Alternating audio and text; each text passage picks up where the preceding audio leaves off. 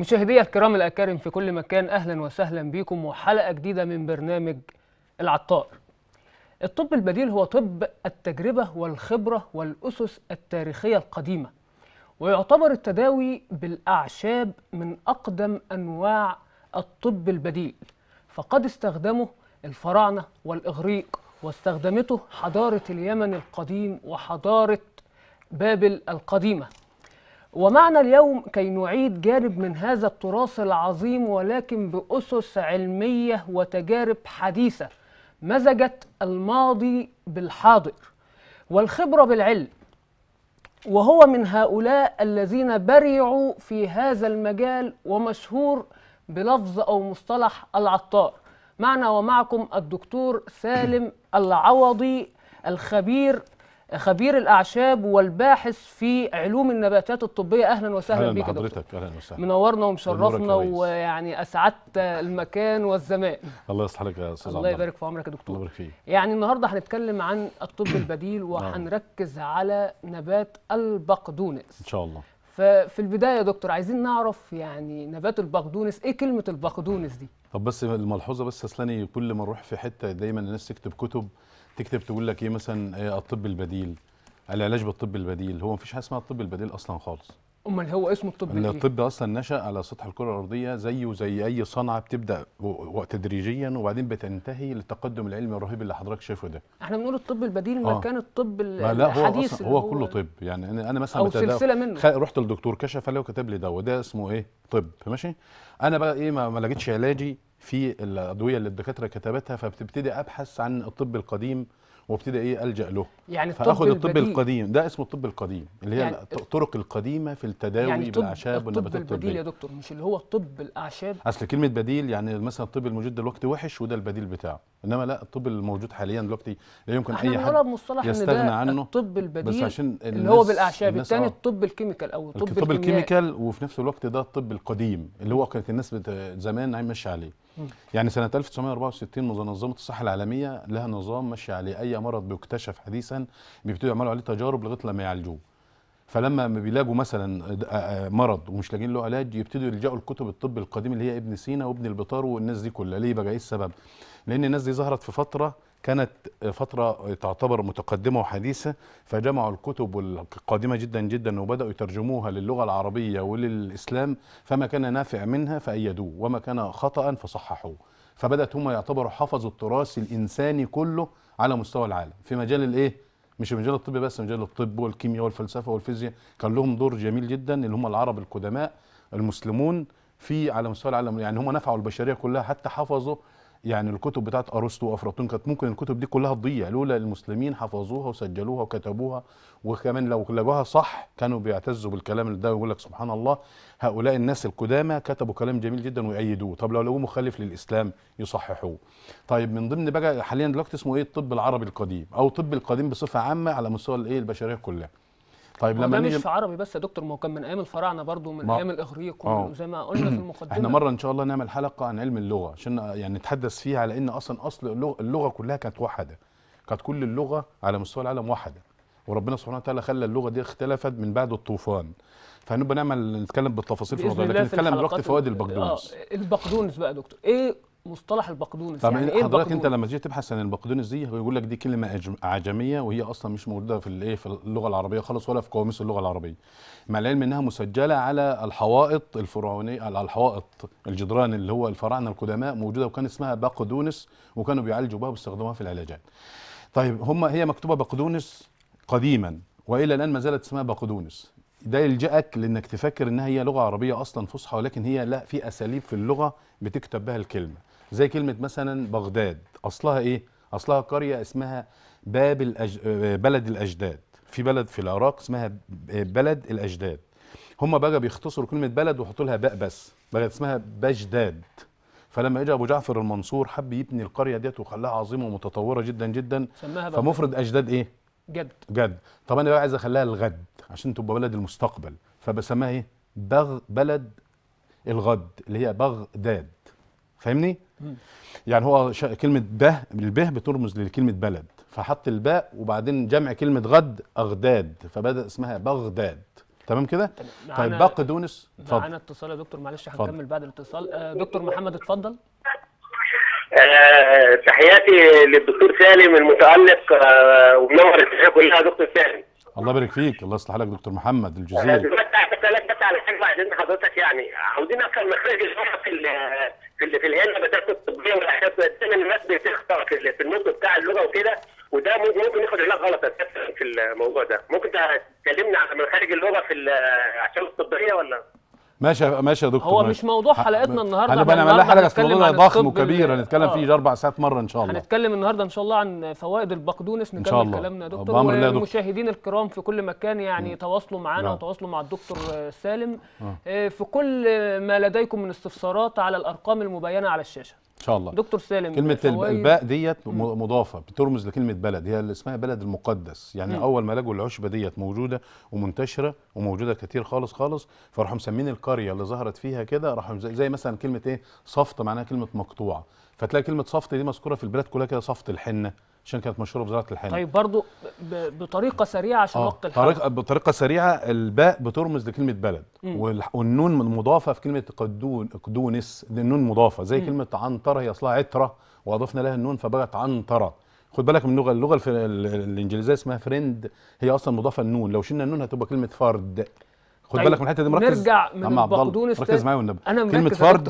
لو حطينا لها نون بقت friend اللي هي آه. الكلمة الأجنبية اللي هي معناها صديق هي أيوة. أصلا كلمة فرد باللغة العربية بس مضاف لها نون فبقت friend هنا بقى بقدون هي اسمها بلد المقدس ضفنا لها النون في النص تديها فخامة وتديها أهمية وتديها إيه تخلي الناس تنتبه لها لأن النون في اللغة العربية دي لها أحكام اسمها أحكام النون الساكنة بس والتنوين ما شاء الله عليك يا. دكتور أنا حضرتك جامع بين. بين المصطلحات لله. العربية. آه. ودمجها حتى بقى العلم. هنا الباء هنا بترمز لكلمة بلد المقدس اللي هي بلد بقدونس عشان خاطر إيه ننتبه لها وناخد بالنا إن الموضوع ده أصلا مهم جدا جدا إن هو نبات المقدونس. تمام. المقدونس دوت أصلا كل ما اسمه من النباتات العطرية اللي هي فاتحة للشهية وبتعمل مذاق جيد لكل الأكلات. وإحنا نحطها على أي أكل على المحشي على الرز على على أي حاجة تلاقي طعمها جيد جدا جدا. يعني هي من محسنات الأطعمة. جدا. وفي نفس الوقت تستخدم كمادة حافظة في الأكلات. يعني ممكن نحطها على السمك نحطها على اللحوم تحفظها فهي مادة حافظة. في نفس الوقت هي بتصنف من النباتات العطرية لأن الزيت بتاعها عطري تع- ريحته جميلة جدا وكويس. يعني في زيت اسمه زيت البقدونس. زينة البقدونس. لو إحنا عصرنا زيت البقدونس ده وخدناه حطينا منه على الشعر يلمع الشعر ويعمل ريحة طيبة للشعر وفي نفس الوقت يغذيه لأنه غني بالفيتامينات وبالمعادن وكل البصيلة بتمتص الغذاء اللي موجود في زيت البقدونس فيخلي الشعر يطول وينعم ويبقى كويس. طب لو أنا استخدمت الزيت دوت للبشرة الزيت نفسه للبشرة يشيل الهالات السمراء والنتوءات يعني وال... وال- وحب زيت الشباب. البقدونس يستخدم كماسك للبشرة كمان. آه الوحدة أنا أجيب قطنة كده مثلا وبعدين أعمل سقسقة وادلك بيها يخلي البشرة تفتح يعني أنت بتنصح السادة المشاهدين و... والمشاهدات باستخدام ماسك زيت ال- البقدونس لتلميع البشرة آه. وماسك ليها و... و... ونضارتها. آه في ناس بشركات بتعمل تيكت وتعبي العبوات ويبقى زيت مغشوش. لو أصلا إحنا عصرنا زيت البقدونس الحقيقي واستخدمناه للشعر هتلاقيه جايب نتائج رهيبة للشعر. المشكلة بقى ممكن أنا أقول إن زيت البقدونس مفيد للشعر ودي أول مرة الناس تعرف إن البقدونس كزيت مفيد للشعر الناس تروح تجيب زيت الناس تدوم أي زيت وخلاص والسلام يجي يستخدموه يلاقوه ما بيجيبش نتيجة فتعزف الناس على استخدام زيت البقدونس ولكن إذا الناس استخدمت الزيت الأصلي هتلاقيه لمع الشعر وخلى الشعر ممتاز طب جدا ممكن جدا. تنصح السادة المشاهدين إن هي تاخد البقدونس تعصره مثلا في سرجة أو في معصرة وتستخدمه يبقى هي الموضوع ضامنة صعب لأن هي مثلا عايزة تشتري بقدونس ب 10 و 20 جنيه ب 30 جنيه. عشان تروح تعصر في معصرة ده عايزة مثلا 100 طن آه، قصدي 100 كيلو عشان تعصره ولا حتى 10 كيلو عشان تعصرهم. هيصرف عليها كتير وفي نفس الوقت هي بس لو واثقة من واحد إن هو أمين وكويس تشتري منه. تمام. طيب أنت عارف أنا بس الب- البقدونس ده لو جبنا خرطناه زي الملوخية بالظبط وصغرناه خالص أو حطيناه في الخلاط وضربناه وطلعناه زي العجينة كده ورحنا حطيناه ماسك على البشرة يعني لو في حب شاب ينشفه ولو في هالات سمراء يشيلها ويعمل نضاره للبشرة. لو إحنا كل ثلاث أربع أيام البنات اللي هي عايزة تهتم ببشرتها وبشرتها دهنية وفيها بثور تحط الخليط ده اللي هو إيه؟ اللي هو عجينة عجينة ال- البقدونس اللي هو طب تضيف الأخضر. عليها حاجة مو في ممكن نضيف عليها تحط عليها معلقة مية ورد ومعلقة زيت لوز مر. وتيجي عجناهم وحطهم على البشرة. وصدقني أحسن ما تروح تعمل ليزر لبشرتها أو تعمل تفتيح للبشرة أو تستخدم أي كريمات دي طريقة بسيطة وجدا وسهلة موجودة في كل البيوت. طب والعجينة دي يمكن استخدامها للشعر كمان يا دكتور؟ ممكن بقى بس أجيب بقى إيه مثلا وليكن آه، 100 جرام بذر الكتان. واجيب ربطه آه، ربطه البقدونس اخرطها واضربها في الخلاط واطحن الكتان ده واحطهم هما الاثنين وبعدين احطهم اطبخهم على النار كأنها زي الواحدة اللي بتعمل ملوخية كده تصب عليهم مية وتسيبهم يغلوا على النار لغاية لما تحس إن هم عاملين زي الجيلي كده. وبعدين تيجي حطاهم على شعرها وربطاه وسايباه ثلاث ساعات. بعد ثلاث ساعات بالظبط وتشطف شعرها تلاقي شعرها ناعم زي دول الحصان الناعم الحرير بسبب الإيه؟ البقدونس مع. الأخضر مع بذر الكتان. الكتان. آه. طيب نرجع ونشوف فوائد البقدونس لمرضى الكلى. دايما اقترن البقدونس بأمراض الكلى. يقول لك ده فلان عنده حصوة خلاص اشرب مية آه، بقدونس أو منقوع البقدونس. آه عايزين نعرف عرفوا إزاي. هو أصلا في مواد آه، آه، مضاده للأكسدة.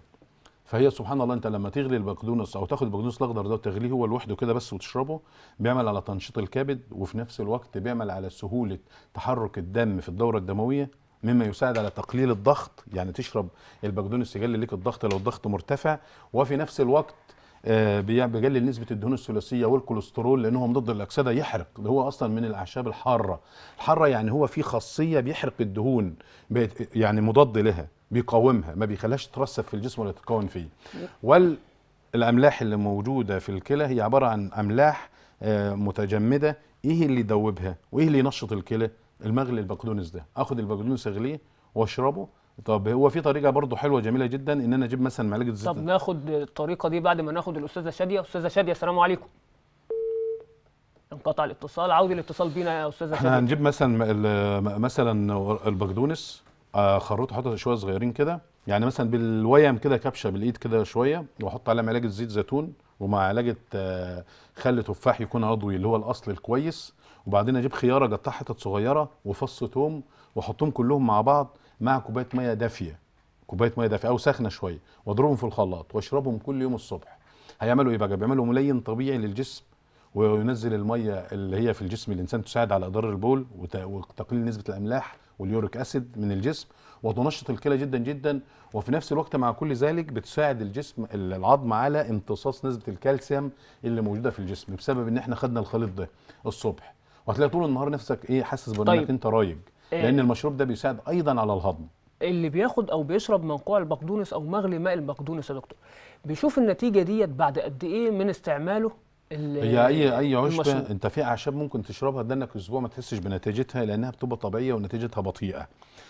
وبعدين أما في أعشاب أول ما تشربها تحس إنها بتديك نتائج سريعة. من الأشياء اللي بتدي نتائج سريعة جدا البقدونس ده. في ساعتها بعد ساعتين ثلاثة تحس لو أنت عندك حموضة تلاقي الحموضة راحت لو أنت عندك تقلصات في البطن تلاقي التقلصات راحت. لو في إمساك وشربت البقدونس تلاقي الإمساك راح.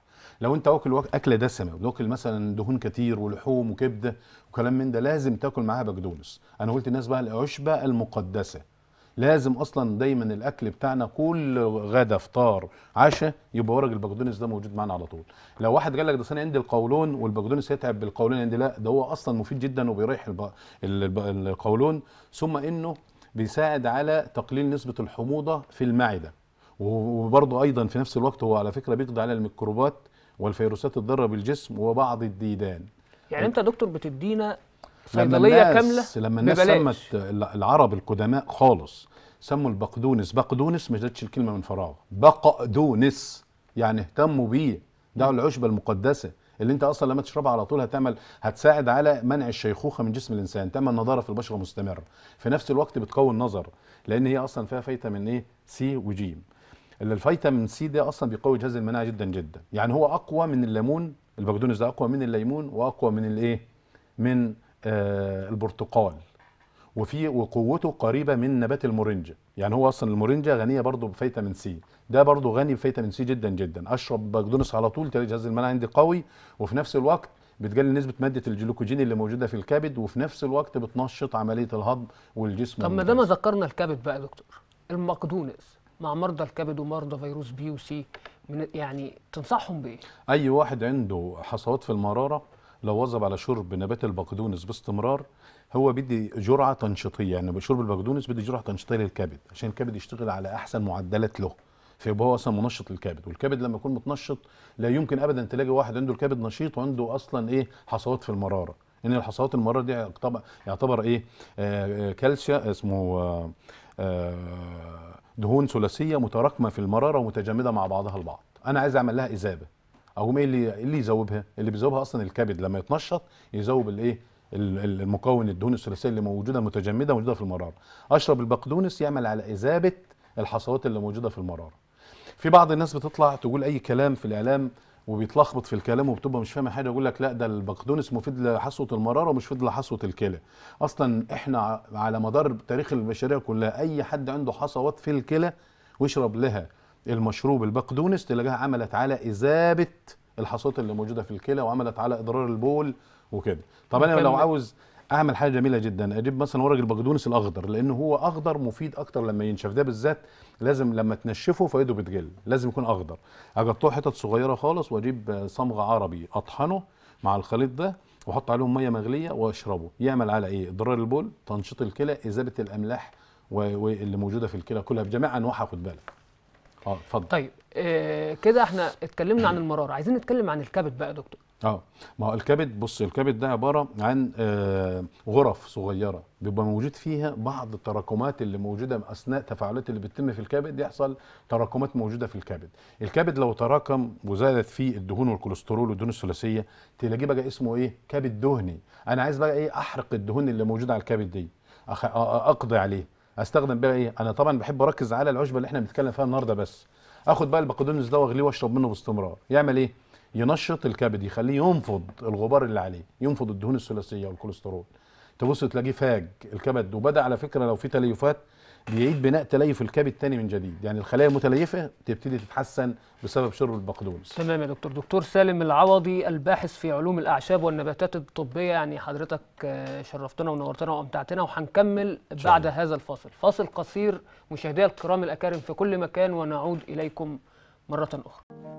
رجعنا لكم بعد الفاصل مشاهدينا الكرام الأكارم في كل مكان. وما زال حديثنا عن نبات البقدونس مع الدكتور سالم العوضي الباحث في علوم الأعشاب والنباتات الطبية. دكتور سالم يعني استفدنا منك كتير والحلقة وقت الحلقة قصير جدا. ولكن هسألك في عجالة آخر سؤال عايزين نعرف هل البقدونس بيظبط الهرمونات وديت من الأسئلة ال- الكتيرة اللي جات لنا على صفحتنا على البرنامج؟ البقدونس بيظبط الهرمونات ولا لا؟ هو بيظبط الهرمونات بالنسبة للسيدات. يعني لو واحدة في مرض اسمه توكسوبلازما تلاقي الواحده حامل وبعدين تسقط تحمل وتسقط لأن عندها مرض اسمه مرض القطط ما بيخليش الحمل يثبت لها في الرحم. إيه أكتر حاجة تقضي على التوكسوبلازما وتثبت الحمل لدى السيدات اللي بتعاني من هذه المشكلة؟ هي أنها تشرب بقدونس كتير جدا جدا يبقى هو هيساعد على تثبيت الحمل ويقضي على مرض التوكسوبلازما ده واحد.